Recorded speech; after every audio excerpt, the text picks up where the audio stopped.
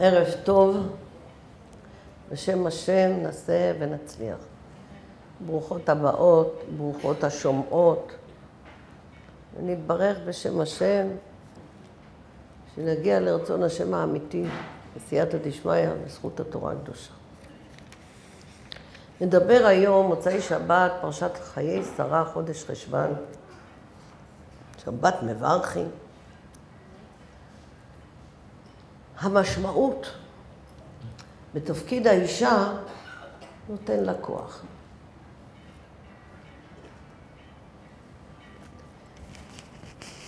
עצם היותנו נשים, כבר אנחנו נחלשות. רק לשמוע אישה חלשה. המין החלש. כל פעם מלפני או אחרי. אה, בוודאי גם כשהיא צעירה, יש לה גם ימים של זקנה. בקיצור, חברותיי היקרות, איך היינו מקבלים את זה?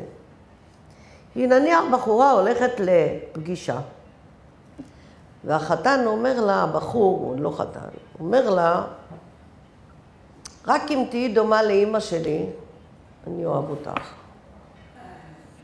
היא צריכה להיות בדיוק כמו אימא שלי. אם לא תהיי כמוה, תחזרי הביתה. איך הבחורה המשודכת הייתה מקבלת תנאי כזה? אה? מה?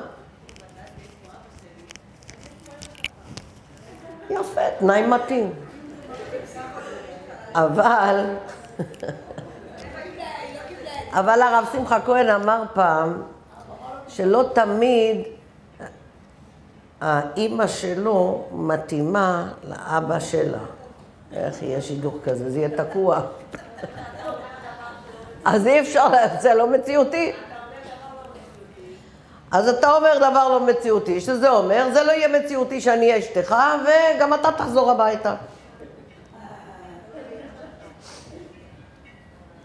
אבל דבר ראינו בפרשה, פרשת השבוע, פרשת השידוכים, פרשה שקוראים אותה בשבת חתן. אני לא יודעת אם זה גם אצל האשכנזים, רק אצל הספרדים. גם בשבת עופרות, קוראים בתורה מיוחדת, פרשה מיוחדת לחתן? לא קוראים שום, שום פרשה? את בטוחה? יש עלייה לתורה לחתן? איזה עלייה לתורה? אחרי שהוא עולה לתורה, אין קריאה מיוחדת? בכל אופן, אצל הספרדים, קוראים בשבת העלייה של החתן את הפרשה שהיא פרשת השידוכים, ואברהם ויברך השם את אברהם בכל, וכל סיפור השידוך שהיה עם רבקה. טוב, אנחנו יודעים את הסיפור של הפלא הגדול שאליעזר הולך עם תנאים של אברהם אבינו ואומר לו, לך תביא אישה לבני ליצחק. הוא אמר לו, רשימה של תנאים. ואליעזר בעצם משוחד, כי הוא רצה את הבת שלו בשביל יצחק. אבל הוא התגבר ואמר באמונה, ריבונו של עולם, תקריא לי, תביא לי את זה במקרה. אני לא אצליח לעמוד בכל התנאים האלה. איך שהיא תבוא, אם תבוא הבחורה ותגיד לי, ותשקני, ותשקהו, וקשקהו, וקשקהו, אם זה יהיה ככה שהיא תשקה את הגמלים, אז זאת הקלה. שאני לא אצטרך יותר מדי לחפש. והנה, נפגש עם רבקה וכל מה שקרה, ואחרי כל המשא ומתן עם האבא שלה, רבקה בת בתואל, וברוך השם, זיכרונו לברכה, בתואל הלך, בגלל שהם רצו להרעיל אותו, את אליעזר. בקיצור, הנה עכשיו הוא כבר במסע, רבקה עם הנערות שלה, עם המנקת שלה, הולכת אחרי אליעזר. ופתאום היא רואה מרחוק בן אדם מיוחד. איך התורה אומרת? שהיא רואה בן אדם שהוא הגמרא אומרת, פושט היד ומתפלל, היא מבינה שזה לא בן אדם רגיל, היא שואלת אותו, מי זה? אז כשהוא אומר לה שזה החתן, היא נופלת מרוב התרגשות, מתביישת, מתכסה. עכשיו אליעזר מביא את הכלה לאליעזר, ליצחק, סליחה. הוא די חושד, יצחק. איך הוא ידע שזאת באמת הכלה המתאימה בשבילו? צריך להביא אותה לאימא שלו. ואיפה אימא שלו? עליה השלום. נפטרה. נפטרה כשהיא שמעה, השטן בא ואמר לה על העקדה, ומה הסיבות ומה קרה ומה בדיוק הוא אמר, אבל בקיצור, שרה נפטרה. אין אימא שתראה אותה. נעצור כאן. ננסה להבין מה קרה אחרי העקדה. הניסיון הכל כך גדול של עקדת יצחק. כולנו יודעים, זה עקדת יצחק. הניסיון של מי זה היה? של אברהם אבינו. ואברהם אבינו אומר לו, יצחק, בוא, נלך. הולכים. ואז יצחק מתבונן אחרי הפיתוי של השטן, שהשטן מפריע ומפריע ומפריע. הוא בא להפריע עכשיו ליצחק ואומר לו, תשמע, אבא שלך הולך לעקוד אותך. יצחק לא מאמין. הוא אומר, תשאל את אבא שלך, תראה. ואז הוא שואל, אבא, הנה, לא, לא עשה, אל תבלבל לי, רגע. הנה האש והעצי ויעשה לעולה. אומר לו אברהם, עשה לעולה בני. ואז, אף על פי שעכשיו הוא מתוודע שזה הוא עשה, וילכו שניהם יחדיו, כאיש אחד, בלב אחד, באותה שלמות שהם היו קודם. וואי, איזה גדלות ליצחק. וכשאנחנו חושבים על יצחק, הוא לא היה בן שלוש, הוא לא היה בן ארבע, הוא לא היה בן חמש. וכמה הוא היה? שלושים ושבע. בחור, נער, בן שלושים ושבע? הוא יכל להגיד לאברהם, אברהם, יפה אבא, אתה צודק. אבא אמר, השם אמר לך, יופי, אבל לי הוא לא אמר. שיגיד לי. אמר, הלכו שניהם יחדיו. מדובר בעולה תמימה. כך אומרים לנו רבותינו, יצחק אבינו, בן שלושים ושבע, הוא שומע שהוא עשה. הוא הולך עם אבא בלב אחד. איזה קדושה, איזה תמימות, איזה שלמות. תמימות זה לא אין לו שכל, חס ושלום. תמימות, שלימות. הוא הולך בשלימות אחרי האבא. דרך אגב, חברותיי היקרות, דרך אגב. היי, עם ישראל שיקל השבוע שמונה נפשות, שמונה קורבנות, לא כאילו, באמת. אומר המסילת ישרים, מכיוון שאין בית המקדש, כי בבית המקדש מה עושים? מקריבים קורבנות. מה עושים עם הקורבנות? מכפרים על עם ישראל. כל יום היה קורבנות, קורבן התמיד. היו קורבנות, עם ישראל היו הולכים לישון נקיים מכל חטא. היי, אבל עכשיו אין בית המקדש. אז מה המחיר?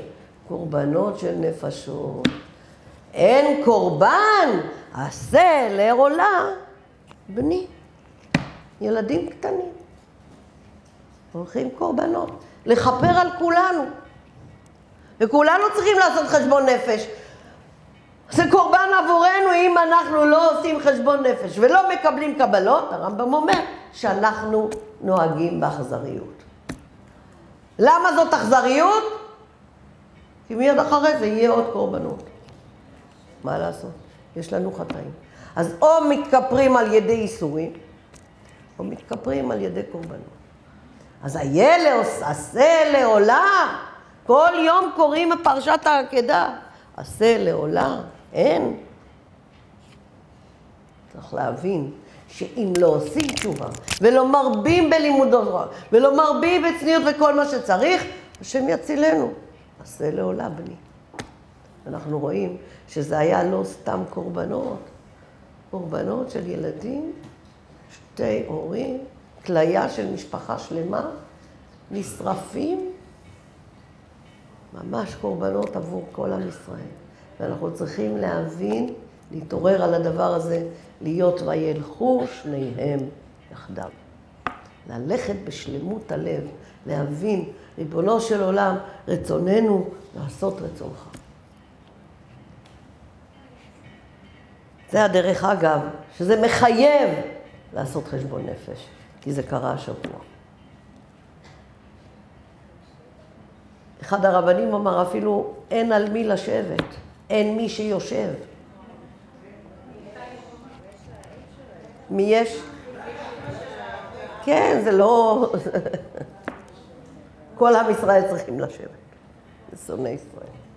בקיצור, חברותיי היקרות, אחרי העקדה, כאילו אפרום צבור ומונח לפניך, אנחנו מבקשים, ריבונו של עולם, שיהיה החסד הגדול הזה של הקורבן שעשה עקדת יצחק.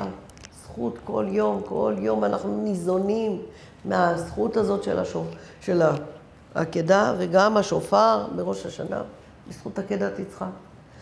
והנה, יש כאן שאלה, איפה הולך אברהם, איפה הולך יצחק? יצחק הולך, איפה? איפה הולך אברהם? אברהם הולך לא לבאר שבע. מקום מגוריו של, אומר המדרש, אברהם אבינו היה מקום מגוריו בבאר שבע, אבל הוא כבר ידע קודם שצריך לעלות לחברון כדי שלא יצטרך לטלטל את שרה. הוא לוקח את שרה כבר לגור בחברון. אבל יצחק, אחרי העקדה לאן הוא הולך? לבאר שבע. פעם היה כתובת, רחוב, מספר, לא היה. מה היה הסימן של אוהל אברהם? היה סימן. לא כתובת, היה מרחוק ענן.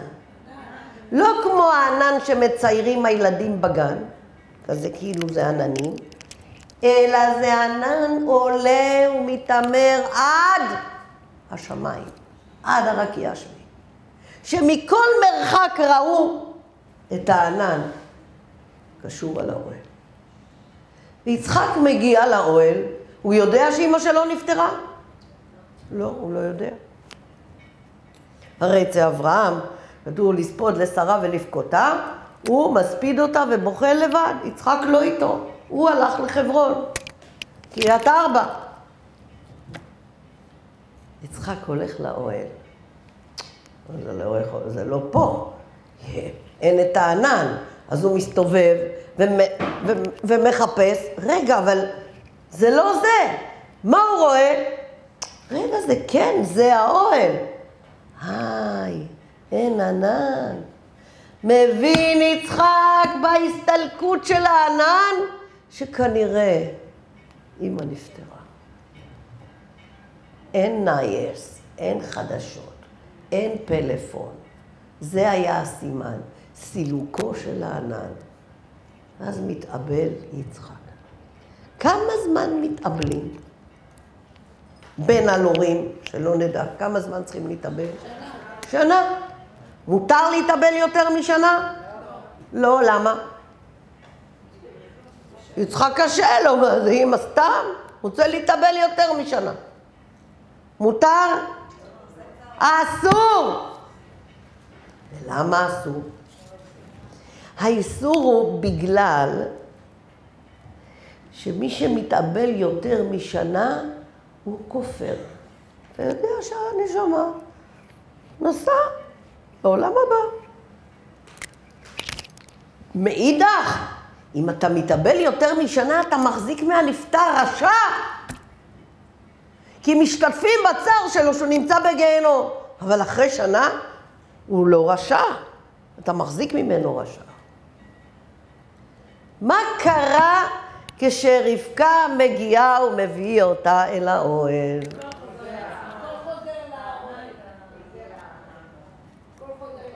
שמע טוב. אומר הפסוק כך. יספר העבד ליצחק על הדברים אשר עשה, ויביאה יצחק האוהלה, שרה אמו.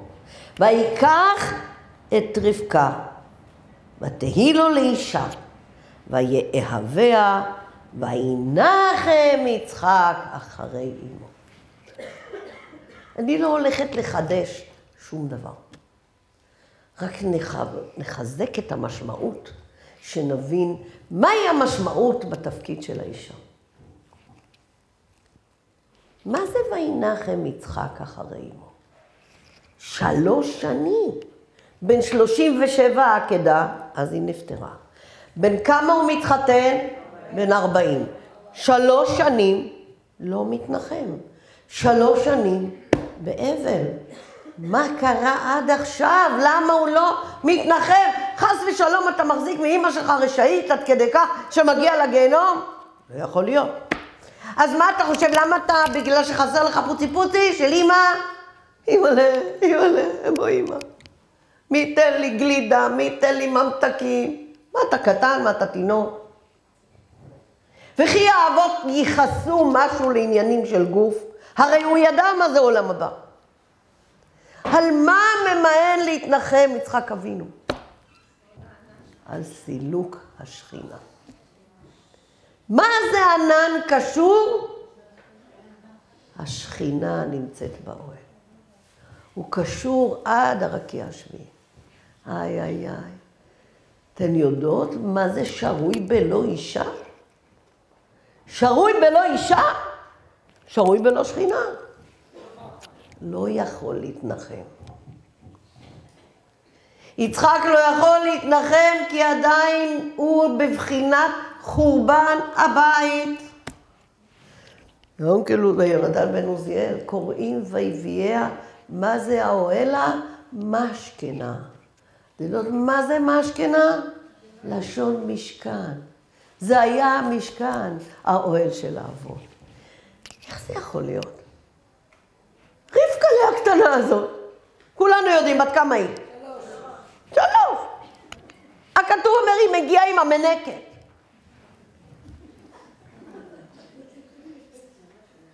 והיא הרבקה הזאת, בכל זאת לא מגיע ליצחק אבינו שכינה באוהל. הוא יצחק, לא יצחק רגיל.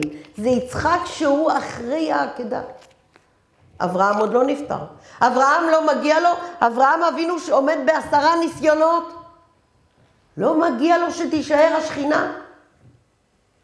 אברהם לא מגיע. יצחק ואברהם לא מגיע. מגיעה איזה צוציקית קטנה בת שלוש. נכנסת לאוהל. איזה פלא! השכינה חוזרת. שנבין מה כוחה של אישה, מה זה אישה שרוי בלא אישה. עזבי ברכה, שמחה, זה בטוח. אבל שכינה? וינחם יצחק. וואי, בסדר. היא כמו אימא שלי. והרי היא, אומרים המפרשים, כשרה אימו. היא מגיעה לעוצמה והגדלות של שרה אימנו. היא ראויה להיות הממשיכה את היסוד הגדול, השורש העצום, ביתו של אברהם אבינו, אחריו יצחק, אחריי יעקב, מי אלה? מקימים בית עם ישראל. עם ישראל, אותו שורש שהוא מחובר עד כיסא הכבוד. איזה סימנים היה כאן? היה כאן סימן מפתיע. כמה דברים צריך שיהיה? איזה סימנים יש? כמה סימנים היה? שלוש. איזה? ענן, ברכה בעיסה, וקטן. שלושת הדברים האלה, כבר הוא ראה אותם. אז יש מחלוקת בין המפרשים. יש מפרשים שאומרים שעד שהיא לא עשתה את שלושת הדברים, אתה צריכה לעבור טסט. עד שהיא לא עברה את הטסט, עדיין לא לוקח אותה. כתוב ויביאה. יש מפרשים שאומרים לא, הוא הביא אותה, הוא חיכה, ורק אחר כך ויהביה. רק אחר כך וינחם יצחק. מתי השלב הראשון, מתי השלב השני, זה לא משנה. יש אומרים כך ויש אומרים אחרת, לפי הגמרא, לפי המדרש רבה, אבל בקיצור, ילדה בת שלוש, רבקה אימנו עומדת, בכזה ניסיון, בכזה מבחן. בואי נראה אם את כמו אימא שלי. היא האישה שהתורה אומרת, אלו הסימנים לתת משמעות עמוקה, להבין איזה תפקיד, איזה תפקיד יש לאישה שהקדוש ברוך הוא אומר לה, את הרצון הבלעדי שלי. הרצון הבלעדי של הקדוש ברוך הוא, מי? האישה. ואיך אנחנו מבטאים את זה? שעשני כרצונו. יש כאלה רוצים ללגלג עלינו, אני גרזנה, של עשני אישה. לליצנים. אבל כולנו יודעים שבאדם, הקדוש ברוך הוא נמלח עם המלאכים. התייעץ איתם, נעשה אדם, איך נעשה, ככה או אחרת. היה פה הרב רוזנבלום, שמענו איך הוא תיאר את ההתייעצות. אבל באישה, נטו, נטו, הרצון הבלעדי של הקדוש ברוך הוא, בלי שיתוף של אף אחד. רק האישה יכולה לברך, שעשני כרצונו. אז מה היא עושה את רצונו? מה הרצון המרכזי בתפקיד של האישה? מה הרצון שלה? המחברת. היא הסיבה לחיבור הזה שנקרא להוריד שכינה למטה. זוכרות שכתוב ושכנתי בתוכם? מה זה? הקדוש ברוך הוא אומר למשה, להתרים את עם ישראל, לבנות את בית המקדש. ונשים היו הראשונות, בוודאי, הן הראשונות שתורמות ומתנדבות להביא תרומה לבית המקדש. מי יכול להבין את הנדיבות הלב הזאת של האישה? ושם כתוב, שתיתנו ותבנו את בית המקדש, ושכנתי בתוכם. למה לא כתוב בתוכו? השאלה ידועה. למה לא כתוב בתוכו? שנדע, אין שכינה בבית המקדש אם לא מזרימים שכינה מכל בית יהודי. מה הכוונה? יכול להיות פה חשמל, יכול להיות פה תאורה אם אנחנו לא מחוברים לחברת החשמל, כן? לא יכול להיות. זאת אומרת, בית שהוא לא מחובר לחברת החשמל, הוא יושב בחושך. אומר הקדוש ברוך הוא, בגלל זה, שנדע. אם יש שכינה בבית המקדש, תחנת הכוח, חברת החשמל שמזרימה שכינה לבית המקדש, זה בית שיש בו איש ואישה ושכינה ביניהם. היי, אין שם שכינה? אז יש, אז, אז חסר, חסר עוד בית. חסר עוד בית, ולכן עדיין אין לנו בית המקדש, שיהיה לנו מספיק שכינה להכניס הבית. בית המקדש הגדול, המשכנה. אז איך מכניסים? איך מזרזים? נכון שהולכים לחתונה, מה אומרים? כל המשמח, חתן וכלה. שנזכה להרבה שמחות בעזרת השם בקרוב. כאילו בנה, מה, איך הוא בנה? מה אנחנו יכולים לבנות? מה זה בנה חורבות ירושלים? אנחנו יודעים להגיד משפטים. מה זה? חיברנו עוד תחנת כוח שהיא שכינה בבית המקדש. כל המשמח חתן וכלה. איי, איי, איי. למה אתה שמח? תראה, לפעמים אני הולכת לחתונה. הולכת לחתונה, אני מכירה את הסבתא, היא מאוד ביקשה, אני באה להגיד לה מזל טוב. אני מכירה את הכלה? מה אכפת לי ממנה? לא מכירה אותה.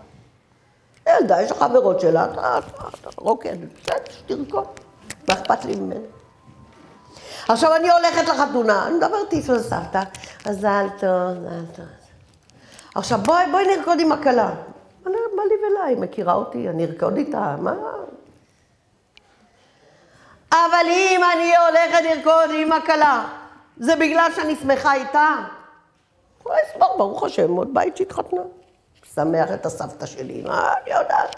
לא מכירה אותה. אבל מי שמשמח כלה, את מי הוא משמח?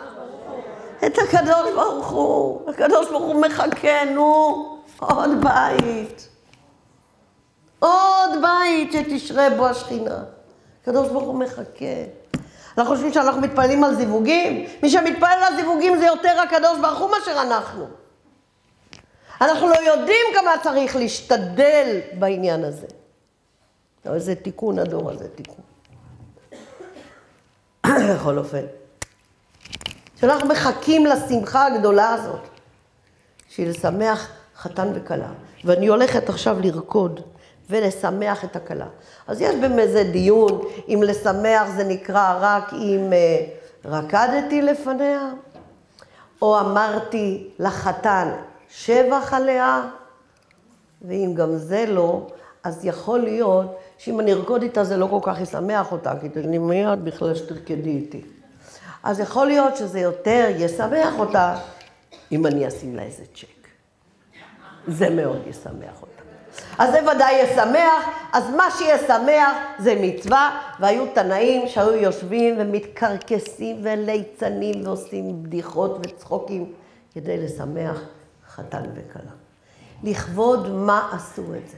שרוקדים לפני כלה ולפני חתן. אני לא רוקדת לפני הכלה, אני רוקדת לפני השכינה שעכשיו יורדת לכבוד הכלה. לכבודה אנחנו רוקדים. לשמח את השכינה שמחים, כי זה להזרז בית מקדש, בית מקדש. מהר כבר, נו. דרך אגב, חברות, שהמשיח יבוא, הוא יבדוק כל אחד. איזה חלק היה לו בזירוז בניין בית המקדש? איזה חלק היה לו? וכשאנחנו אומרים שתשרה השכינה בין איש לאשתו, זה לא נגמר בחתונה. זה לא נגמר בחתונה.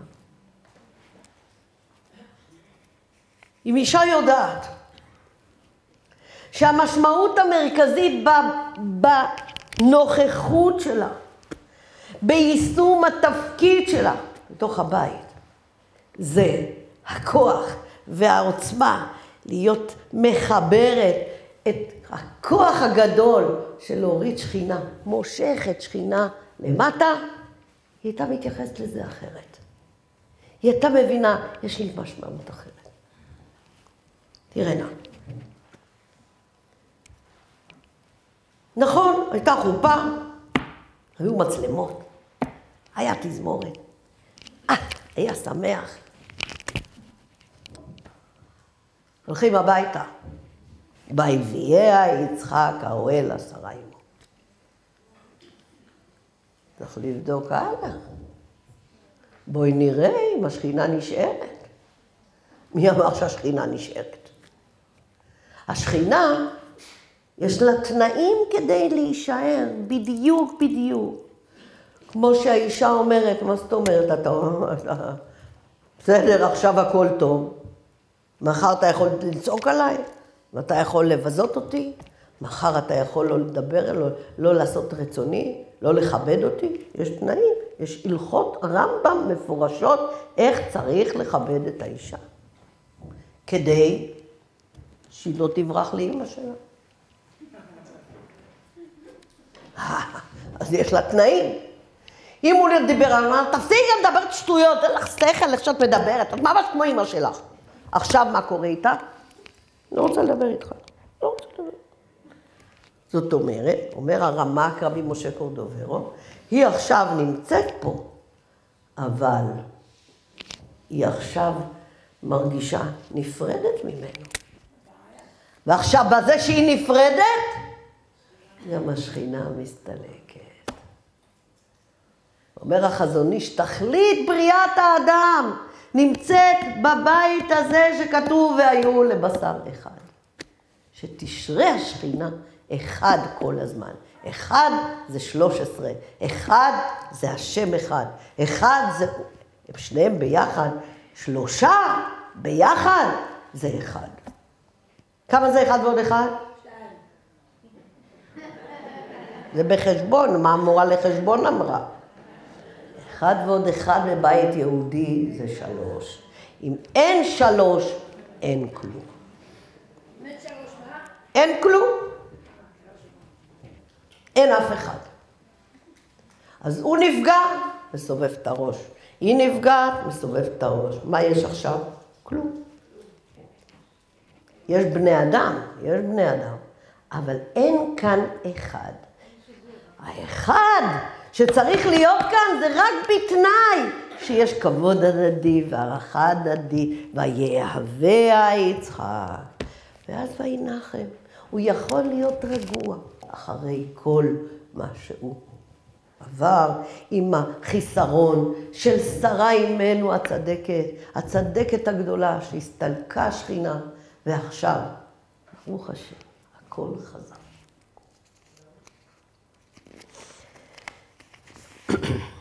חומש בראשית, כתוב שם, בפרק ג', הסילוק של אדם הראשון מגן עדן. למה? למה הקדוש ברוך הוא סילק את אדם הראשון מגן עדן? אחרי שהוא חטא. אדם הראשון חטא,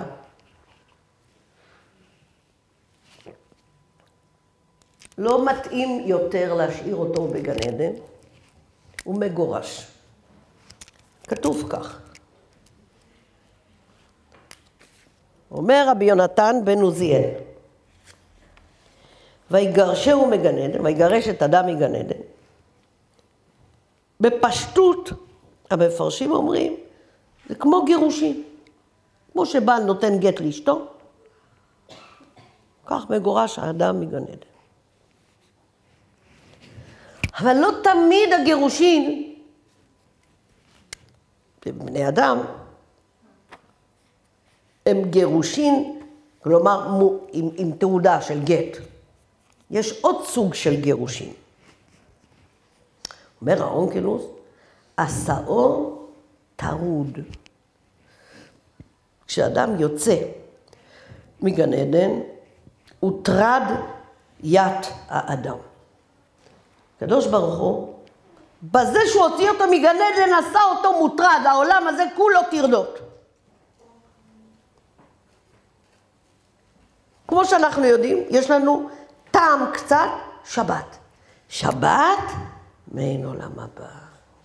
מכינים הכל, אדם לא מוטרד, יש אוכל, אין אוכל, הכל יש. מה יש לו לעשות? לנוח, להתרומם, להתפלל. כל השבוע, מה קורה לו? מוטרד. אבל הקדוש ברוך הוא לא הפקיר אותו, את האדם, לגמרי. נתן לו את העזר כנגדו, שהיא מסייעת לו, שהוא יהיה מוטרד איתה ביחד. עכשיו, שניהם מוטרדים. איך לעשות את התפקיד בעולם הזה? איך לעשות? איך להשלים זה את זה? אבל זה התיקון שלהם. הם צריכים לעבור את העולם הזה, לתקן כדי שיהיו ראויים לחזור לגן עדן. מי הייתה הסיבה לגירוש הזה? אה, זהו, גברת חווה. גברת חוויה, שאומרים לנו חז"ל, חוויה, התפקיד שלה להיות חוויה. אז יש לה, היא עושה חוויות, בוכה, מתעצבנת, לא רוצה, רוצה יום הולדת, צוחקת, מצחיקה, אבל גם בוכה. היא חווייתית.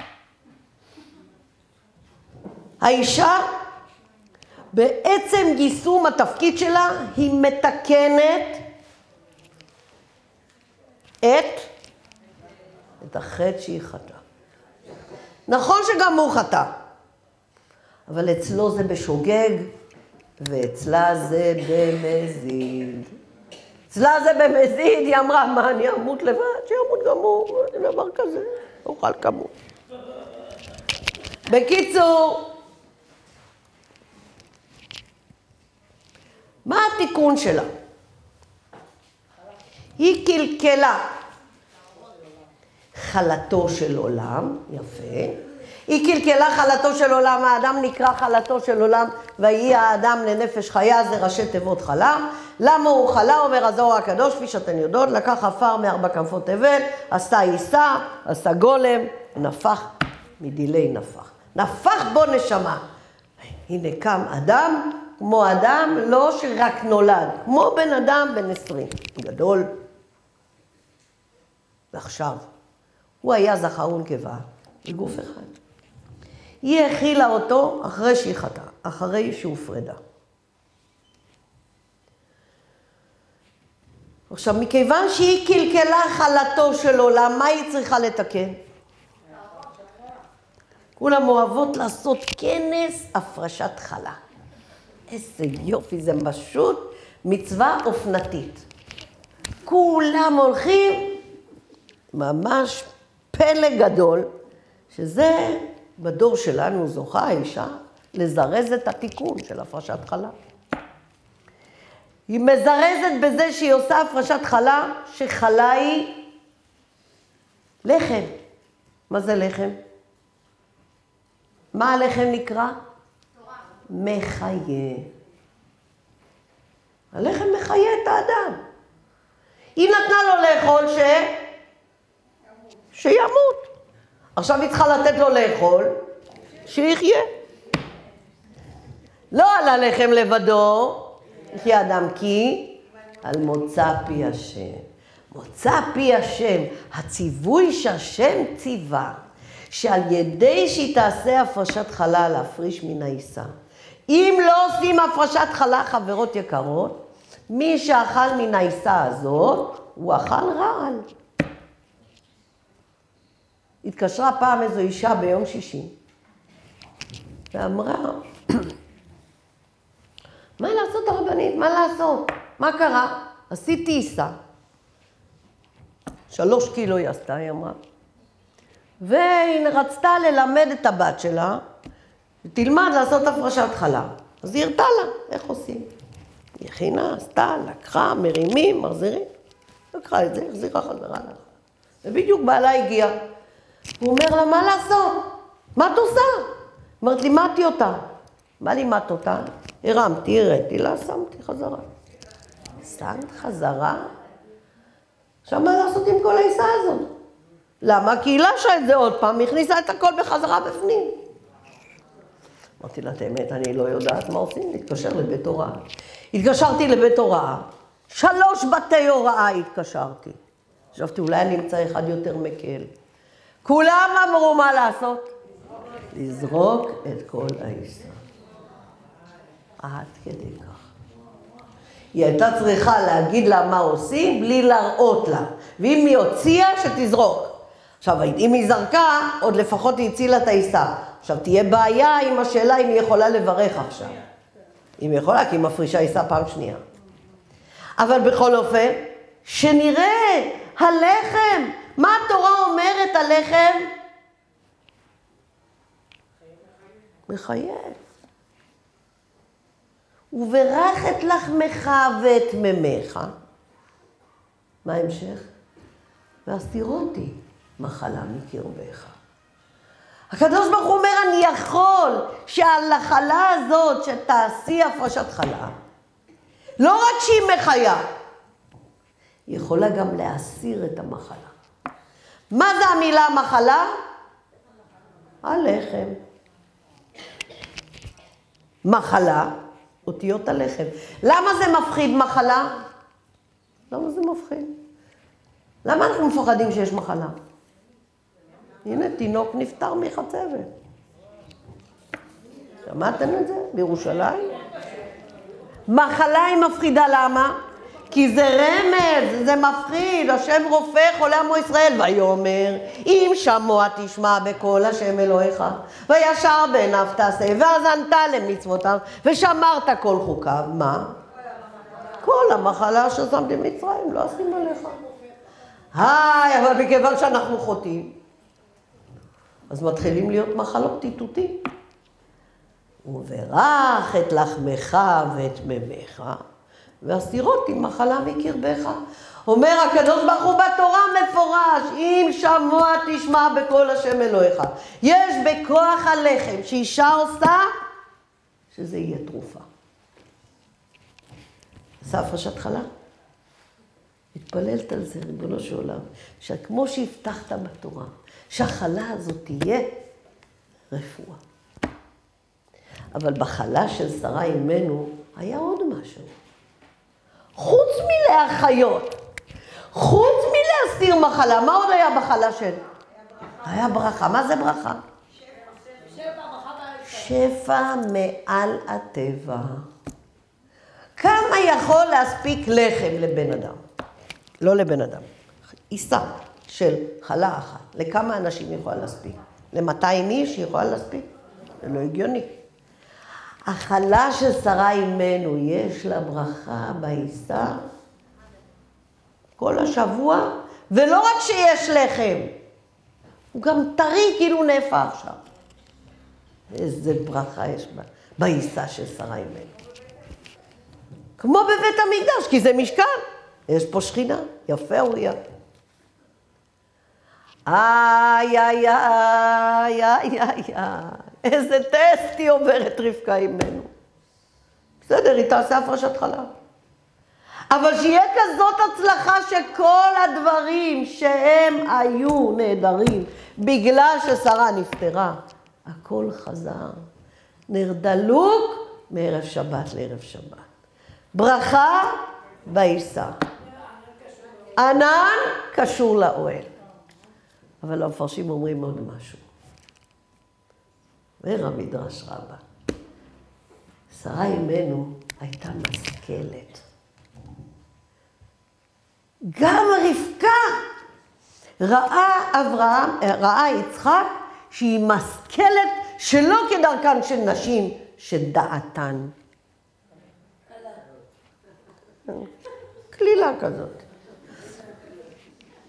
סתם דרך אגב, אני, אני יודעת שלנשים יש דעתן קלה. נכון אתן יודעות את זה? ככה אומרים, לא. אבל לאישה יש פלוס. מה יש לה פלוס? לא בינה יתרה. אני אומרת, אבל גם בינה קלה אין להם. זקנים. לנו לפחות יש, יש להם דעת, ולנו קלה, אבל בינה יתרה. יש להם בינה? לא. לא כתוב שיש להם בינה קלה. איי, איי, איי, בינה יש לאישה, והיא צריכה להשתמש בה לבניין. היא בונה את ביתה ברגש שלה, באהבה שלה, בהשכלה שלה, איך היא מנצלת את התפקיד, נותנת משמעות לכל דבר, הכל מחובר לשכינה. הבית שלך כמו משכן, הבית שלך כמו הקרבת קורבן. איזה דבר זה? אין לך כוח? תקחי ויטמינים. אין לך כוח? את לא אוכלת טוב? אז אישה אומרת, לא יכולה לאכול ליד בעלי, לא, מסתכלת כמה את אוכלת וזה, לא, הוא אומר לי שאני לא אוכל. אז אני אומרת לה עצה. הבן איש חי נתן עצה. בספר חוקי הנשים. עכשיו החברות טיפ בינינו, אני אומרת לכם, אל תגלו להם את זה. הבן חי אומר, לפני שהבעל מגיע, תאכלי. אבל לא עד הסוף לגמרי, אבל תאכלי. כי כשאת תבואי, את מחכה, מחכה, מחכה, עוד לא הגיע, עוד לא הגיע, עוד לא הגיע, נו, נו, נו. די, אני גם רעבה כבר, די, כמה עד שאתה מגיע, נו, אני מקבלת אותו. בהיסטריה. איש חי אומר, וכמה, איך את אוכלת? איך את אוכלת כשהוא מגיע פתאום, את אה, רעבה? איך? אל תגזימי, תרגי, תאכלי. אל תגידי לו, כבר אכלתי. זה לא יפה, את צריכה לאכול איתו. אבל ככה, מה הוא רואה כשאת אוכלת איתו? איך את עדינה, אוכלת קצת, לאט לאט. ואז הוא רואה, היא לא בזבזנית, היא לא משמינה, היא לא משמינה. היא מאוד עדינה, היא אוכלת יפה, היא לא מורעבת כזה, נורמלי. אז הוא יגיד, מה קרה אשתי? התחלת לאכול? כן, אני בדיאטה, אני... אני לא... לא רוצה... עכשיו, נכנסתי לתוכנית שאני לא אהיה כזאתי, אלא אני אהיה קצת יותר, ואפילו כולם אומרים שרזיתי. אז את יודעת, זה מאוד מוסיף. מחמאות על עצמך, תגידי כמה שיותר. לא יותר מדי, לא יותר מדי, בינינו, רק, אה, את יודעת, קצת, תהיי נורמלית. תהיי משכלת. מה עוד צריך להיות, מה עוד אה, זה, אנחנו נלך לקראת סיום ונבין, חברותיי היקרות והאהובות, שנדע שאם את תדעי איזה כוח, איזו עוצמה, איזה משמעות.